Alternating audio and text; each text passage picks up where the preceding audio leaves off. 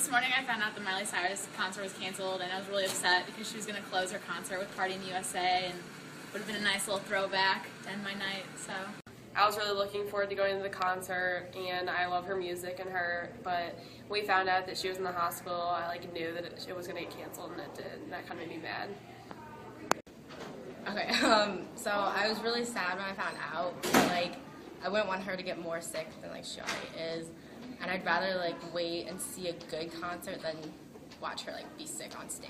Um, I don't really care that much. I mean, it kind of sucks that it's canceled, but get our money back, and well, there will be other concerts. Once I found out that the Miley Cyrus concert was canceled, I called my dad right away and I started crying. And then he was like, Brittany, you're at school, you need to focus. But I was just really distraught because I had my whole outfits laid out. My friends are sleeping over tonight, but now I don't know if they're sleeping over tonight because we were supposed to go to the concert. Now I'm really sad and I don't think it's going to get rescheduled and I think it's just going to be refunded. So I don't want my money back. I just want to see her in concert. I was really disappointed when Miley canceled because I already had my outfit.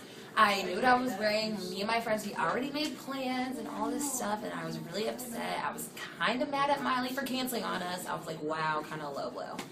But yeah. When I figured out that Miley was canceled, I went to her Twitter and to go look and see what she's been saying recently. And she says that she's been super sick and that she wishes she could be there. But I was just really disappointed and I Okay, well, personally, I'm really mad this concert got canceled. Um, I saved up all this money doing extra laundry, walking my dog, doing all these chores, and even though we get our money back, it's really not the same because I really want to see Miley. I got these tickets a long time ago. I had to beg my mom, and she finally gave in. I had my outfit all picked out, and I can't wear that. Uh, I was going with like two of my good friends. We were gonna have a good time. I was gonna see all my friends there and I really can't see Miley again. Oh, and I memorized her whole album for nothing. I hated half the songs, but I memorized them just so I can like sing along, and I can't go, so I'm really upset.